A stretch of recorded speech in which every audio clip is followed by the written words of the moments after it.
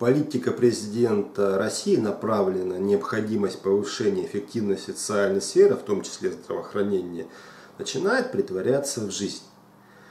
В системе общественного здравоохранения действуют медицинские организации, основанные на частной форме собственности. Их количество ограничено. Они имеют доступ к средствам бюджета и обязательного медицинского страхования. Сейчас деньги идут за пациентом.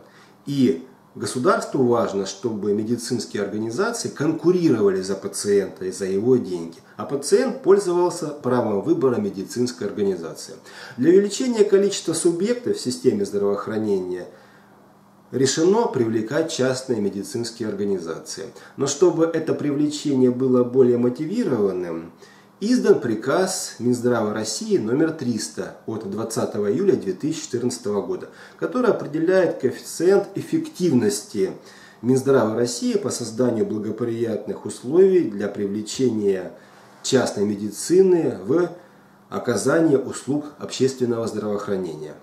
Он определяется соотношением медицинских организаций частной формы собственности, участвующих в реализации программы госгарантий, к общему числу медицинских организаций. Увеличение количества участников в реализации программы госгарантий будет говорить об улучшении ситуации в этой сфере, об улучшении конкуренции.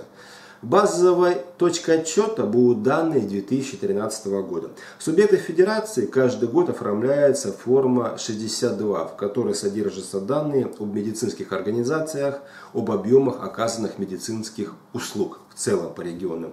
Следовательно, в 2014 году, 2015 году, в последующих годах вот эти показатели, э, показывающие соотношение частной и в целом медицины в реализации программы госгарантии должен увеличиваться. Поэтому я думаю, что на местах в регионах будет проводиться политика под давлением сверху по увеличению числа участников – в реализации программы госгарантии. Я думаю, что данный подход государства выгоден прежде всего пациентам, чтобы медицинские организации за пациентов конкурировали. Поэтому органам здравоохранения субъектов федерации предоставляется возможность проявить себя. И с этой работы нужно не затягивать.